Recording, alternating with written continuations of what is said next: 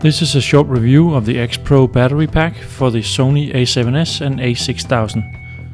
In the box you find a battery pack with the 8.4 volt output for the Sony camera. There's a 5 volt input micro USB standard for charging and there's a regular 5 volt output for charging USB devices. The included spiral cable with the dummy adapter can stretch up to 1 meter. Also included in the box is a belt pouch which can come in handy if you're doing run and gun shooting. The dummy adapter with the spiral cable goes into the battery slot of the A7 or the A6000. It has a plug in the other end which goes into the battery, into the 8.4 volt output.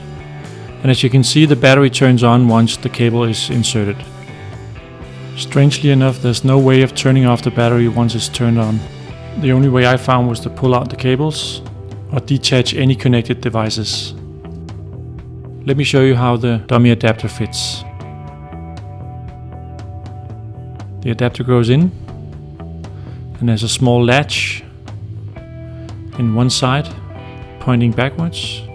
You can open it and the cable will fit nicely through that latch once the battery door is closed.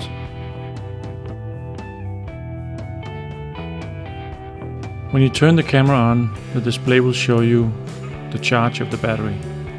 It's not completely reliable, so please check the small blue dots on the battery itself to see how much power you have left. The battery should give you up to 5 hours of shooting. This is of course a lot less than the Easy ACC battery, which I reviewed a couple of weeks ago. But this battery is smaller and lighter and doesn't have the flaw that the EasyACC battery had when taking pictures.